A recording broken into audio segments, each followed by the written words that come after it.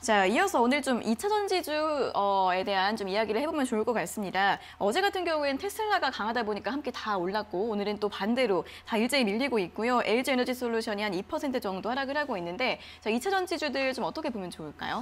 네, 어, 최근에 또 테슬라가 강하게 갔다가 네. 또 약세를 받다 보니까 주가가 변동폭이 좀 커지는데 네. 그래도 배터리 3사 국내 업체들이 계속 더 투자를 하면서 앞으로의 미래 먹거리를 찾기 때문에 어, 어떤 기대감은 높다고 보여지고 있는데 그중에서 2차 전지 쪽에 장비 쪽을 어- 보는 게 더 좋지 않겠느냐 라는 쪽에서 이런 글로벌 투자를 확대했을 때 나올 수 있는 또 하나의 수혜 섹터로 바라보고 있는데요. 그중에 한 종목 원준에 대해서 말씀드리고 싶은데 예, 이 회사는 열처리 장비 쪽에 들어가는 소속로 어, 쪽에 강점이 있는데 어, 양극재, 음극재, 탄소 섬유 모두 다 어, 커버를 할 수 있는 어, 장비라고 봐야 될 것 같고요. 점유율이 50% 정도 됩니다. 경쟁사 대비해서 어, 좀 양호한 모습들을 이끌어 가는데 상대적으로 턴키 방식이고 현장에서 아웃소싱을 하다가 어, 어떤 제품을 만들어 라인을 만들어야 되다 보니까 고정비가 낮습니다. 이런 부분을 생각하게 되면 수익성이 높다고 봐야 될 것 같고요. 기타로 피해 배터리 관련된 사업까지도 하고 있다라는 쪽에서 눈길이 가는데 어, 그런 쪽에서 어, 작년 실 매출이 약간 좀 어, 생각보다 좀 부진했어도 올해 실적 변화 강하게 나올 걸로 보여지고 있고요.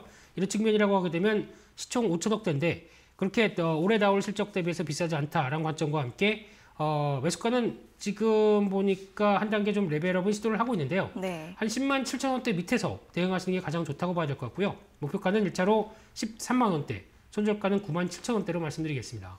네, 저희가 또 앞서도 어, 지난해 세계 전기차 시장이 두 배가량 성장을 했다 이런 뉴스 전해드렸는데요. 어, 계속되는 성장성과 함께 주목해 보시면 좋을 종목 원준에 대한 이야기 함께 드렸으니까 가격 전략들도 함께 확인해 보시면 좋겠습니다. 자, 다음으로 또 오늘 장 초반부터 보험주 이야기를 계속하고 있습니다. 오늘 좀 상승세가 두드러지고 있는데 보험주도 한번 점검을 해볼까요? 네, 뭐 보험주 같은 경우 금리 금리 인상에 대한 뭐 가장 큰 수혜주가 이제 보험주다라고 보시면 될 것 같고요. 네. 특히 이제 전일에 이제 미국에서도 지금 뭐 브레이러드 그 이제 연준 그 부의장이 지금 네. 뭐 부의장 이제 대, 그 지명자죠. 뭐 관련돼서 일단 뭐 최근에 이제 미국 내에서도 긴축에 대한 부분을 다시 얘기한 그런 상황입니다. 일단 뭐 미국 같은 경우에 올해 내내 기준금리가 계속 올라갈 걸로 그렇게 예상을 하고 있고요. 그 폭이나 속도가 문제 아닌가라는 생각이 들고요. 이렇게 이제 미국에서 기준금리가 올라간다라고 하게 되면 국내 같은 경우도 기준금리를 같이 올려야 되는 그런 상황에 뭐 봉착돼 있는 거 아닌가라는 생각이 들고 있습니다. 뭐 그거에 뭐 지금 선반영돼서 국내 채권금리도 강한 그런 흐름세를 좀 보이고 있는데요. 어, 이런 관점에서 보면 일단 뭐 금융주 전체적으로 뭐 금리 상승에 대한 기대감에 대한 부분이 있다라고 보시면 될 것 같고요. 보험 같은 경우는 추가적으로 이제 보험업에 대한 손해율 자체가 하락을 하고 있는 그런 모습을 보이고 있습니다. 이에 따라서 이제 그, 단, 그 관련된 실적도 증가할 걸로 그렇게 예상이 되고 있는 그런 상황이다라고 보시면 되겠습니다.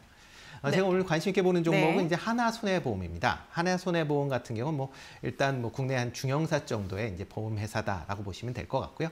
뭐 작년에 뭐 장기 보험이나 그다음에 자동차 보험 손해율 하락으로 인해서 영업이익이 큰 폭으로 개선되는 그런 모습을 좀 보이고 있습니다. 어, 특히 뭐 올해 같은 경우도 이제 실적 관, 보험 관련 쪽으로 본다라고 하게 되면 어, 코로나로 인해서 뭐 일단 보험사 전반적인 이제 손해율이 이제 하락하는 그런 추세고요. 지금 2, 2월 달 자동차 손해율이 76.4%로 인해서 작년 평균 83.7%에 비해서 이제 감소하는 그런 추세를 보였습니다. 이렇게 보험사 손해율이 감소한다라는 건 영업이익이 증가한다라는 뜻으로 이해를 하시면 좋지 않을까라는 생각이 들고요. 그리고 이제 그 금- 국내 같은 경우도 이제 그 향후에 이제 금리 상승에 대한 수혜까지 감안을 한다라고 하게 되면 일단 보험주 같은 경우는 뭐 추가적인 상승 여력은 아직 충분하다라고 보시면 될 것 같습니다. 어, 그럼 가격대는 뭐 최근에 조금 조정을 보였다, 어, 조금 상승을 한 이후에 조금 조정을 보였습니다. 보였다가 오늘 뭐 다시 움직이는 그런 모습을 보이고 있는데요. 일단 5만, 아, 5,100원 뭐 내외에서는 뭐 네. 충분히 가능, 어, 매수를 하셔도 되지 않을까라는 생각이 들고요. 목표 가격은 5,500원, 손절은 4,400원에 하시면 되지 않을까 싶습니다.